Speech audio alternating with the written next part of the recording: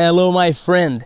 Nuestros alumnos VIP nos pidieron para grabar clases con dicas, pequeños detalles en inglés. Vamos para la sombra. Semana pasada hicimos el primer y ahora vamos por el segundo. El sonido de TH en inglés. Puede ser the, puede ser the, puede ser the. Depende. The United States, los Estados Unidos. The United States. This is a farm. Esta es una hacienda. That's nice. Qué bueno. That's amazing. Qué increíble. The.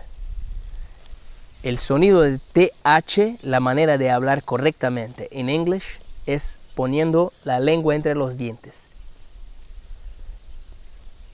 Con el, con el TH en el medio de la palabra también. My birthday is in April. My tooth, mi diente. My teeth, mis dientes. ¿Ok? Lo que no existe es TH con sonido de la F. No. Es un T. Acuérdate que es una T.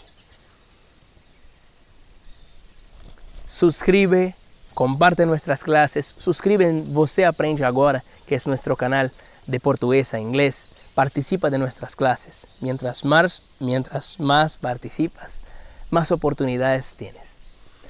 Thank you very much. I'm Felipe Gibi. See you next class. Tres palabras. Road, calle. Word, palabra. World, mundo.